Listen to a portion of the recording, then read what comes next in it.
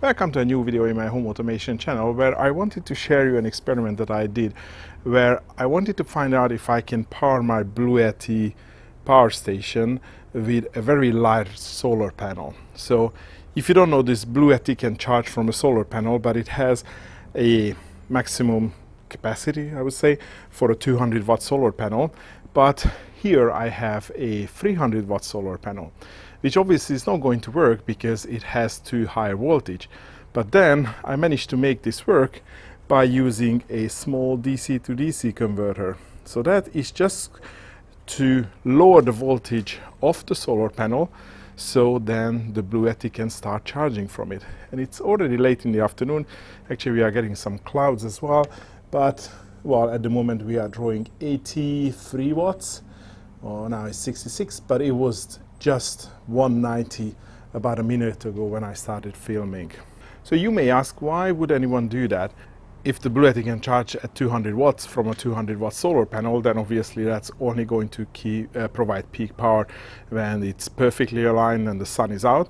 But if you have a higher capacity or a bigger solar panel, it might be able to provide 200 watts even if it's uh, you know shaded or it's not ideal condition. So you should be able to get more juice out of a bigger panel than a smaller panel obviously. So the only thing that we needed to solve here is to reduce the voltage so the Bluetti can actually drive the bigger solar panel. Because otherwise if you just connect a big solar panel nothing happens because Bluetti is going to reject it due to overvoltage. The reason I found this particular scenario interesting because for me it is easier to find these relatively older solar panels than the fold out uh, you know camping solar panels. Because uh, nowadays you can find these 300 watt panels on second hand because you know nowadays the typical solar panels are more like 400 and 420 so I can find installations where these older panels are being taken down in order to replace them with higher capacity panels. So sometimes they could be cheaper to get than a similar spec or even a smaller spec folding solar panel. So clouds are rolling in and out, so I'm not sure if I would be able to capture peak production. It's 83 watts at the moment. Well, it's slightly less now, but I think I have footage when I first tested it out and I was definitely getting 199 watts out of this big solar panel. And again, the input is peaking at 199 at full sun and going a little bit below, but definitely not going about, uh, definitely not going above 200 and it's not uh, going to switch off uh, due to overpower or over voltage. So I think it is working. 199. I can't really get it on focus. Yeah, so if you want to do something similar to this, all you need is you need a DC-DC converter such as this one. I'm going to show you, you this up close a little bit later in the video. And of course you have to make your own cables. So what I have here now is I created a cables which uh, is uh, terminates in an MC4 connector. So that plugs into the solar panel and then it just goes into the input terminal of this DC-DC converter and the output terminal just goes into the Bluetti into the solar input. And that's pretty much it. And I don't have to do any tricks so if I remove this then obviously the charging stops. And I just plug this in. And then you have to wait for a couple of seconds until the the charging circuitry starts picking up the current. And then you will see that the the wattage ramps up. So I guess we will get 76 watts with this partial sun at the moment. So yeah 60 70 watts and as you can see the sun is behind the clouds. So it is still getting a decent charge with an you know on an overcast day so let me show you this DC-DC converter up close and later on I can also explain you how the solar panels work based on what I understood through this experiment. So I wanted to show you this DC-DC converter on the bench because it's easier to view it here than the outside. So it is, you know, it's not a big thing, it's really small. And uh, um, wiring up is really easy because as you can see on the left side, it has, uh, it has the two input terminals So it is marked as in minus and in plus. Uh, where is the in plus? Yeah, in plus there. There is an on-off switch as well, which I don't, you know, I don't bother with the switch. It's always switch in the on position. And when there is power, so solar, then this LED is going to be lit. And on the other side, we have the outputs. So you can clearly see that it's marked as out positive and out, well, that's the out negative. Um, so a little bit of, well, the only bit of confusion is that for the input, the positive is on the bottom and for the output, the positive is on the top. And for the output, I just wired, I think this is a 2.5 millimeter jack. And for the input, I wired the MC4 connectors. And uh, just ignore the, the tape on the negative lead. I accidentally stripped the insulation. So this is why it is wrapped again. But uh, yeah, I just bought these MC4 connectors and I created these connections. I'm definitely using thinner wires than what comes off uh, the solar panel. But again, keep in mind that the solar panels are designed to be uh, wired in series with a lot of panels at the same time. So they are having thicker uh, cables, but for a single panel, I think this uh, cable is fine. And before you set up the whole thing, you also need to sort of like configure it which is done with these two small pots that you can see here. And um, you can see that one of them is marked as CV and the other one is CC. So the, the CV controls the voltage and the CC controls the current. So what I have done is I have a power supply which uh, I was able to set to the open circuit voltage of the solar panel so it was around 39 volts. So I feed in the 39 volts here and I used a multimeter to measure the output voltage on these two terminals.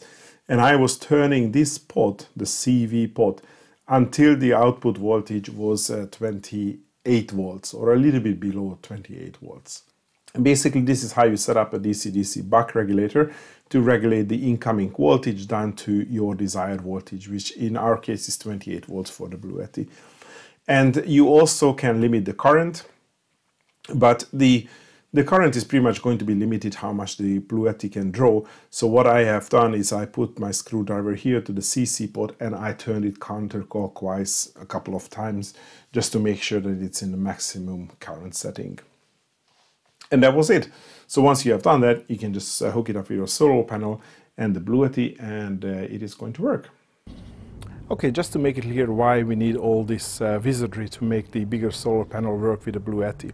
Because when you look at the uh, printing here for the MPPT input, it says that it accepts anything between 12 and 28 volts and 8.5 amps in the, in the DC input. So that's the voltage and the current range that the Blue Bluetti can use in order to charge itself.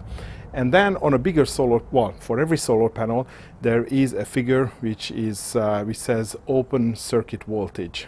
And I'm just going to link in a picture of this particular solar panel and you can see that the over uh, circuit voltage is much higher than the 28 volts.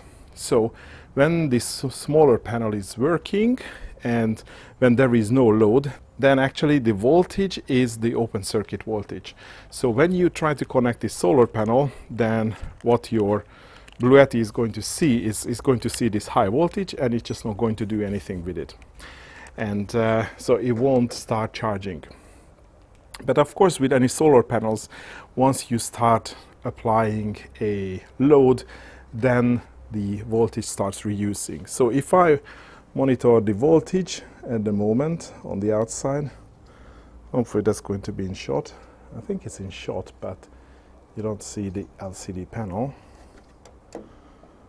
So that is 27 volts at the moment, so pretty much the peak of what the Bluetti can accept.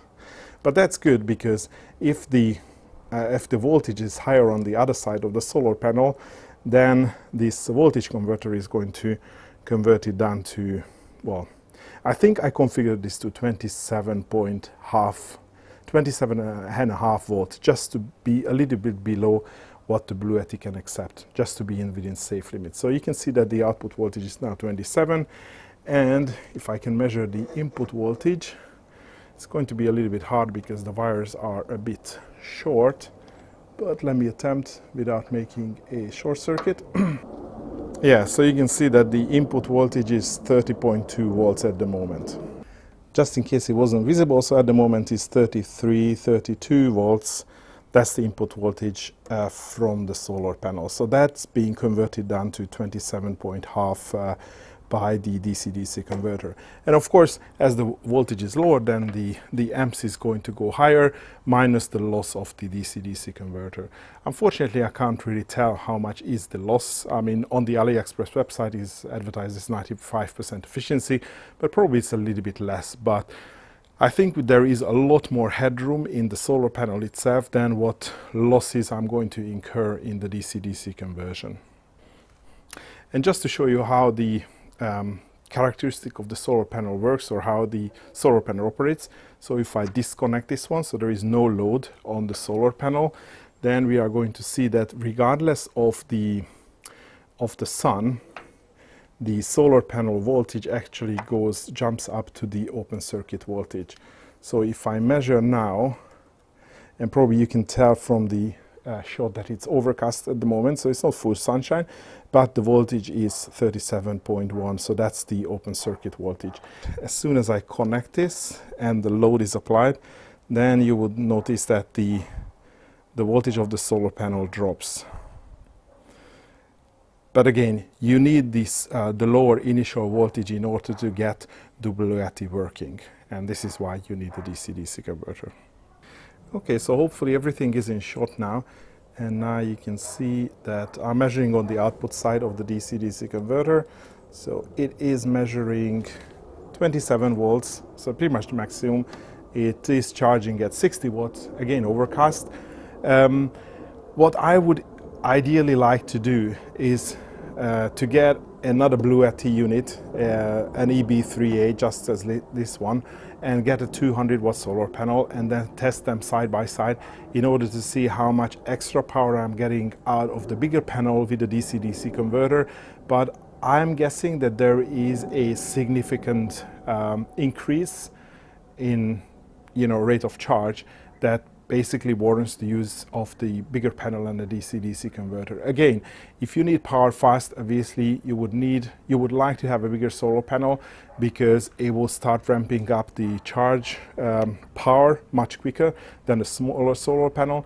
Not to mention if the light conditions are not ideal, you would definitely get more power out of a bigger solar panel, even with a DC-DC converter, than what you would be limited with a 200 watt panel. But anyway, I think that will be all about this experiment. If you want to reproduce uh, the same thing, I'm going to leave the purchasing links to this uh, particular DC-DC converter down in the, uh, in the video description below. This happens to be a 300 watt DC-DC converter, so it's exactly the same um, Uh, you know wattage as the solar panel itself but even if you have a bigger solar panel I think this DC-DC converter is going to be sufficient because regardless how much power your solar panel can generate, this Bluetti unit would not draw more than 200 watts. So even this is a 300 watt DC-DC converter, it won't see anything more than 200 watts anyway. So I think that will be all for today. Thanks for watching and hopefully see you next video.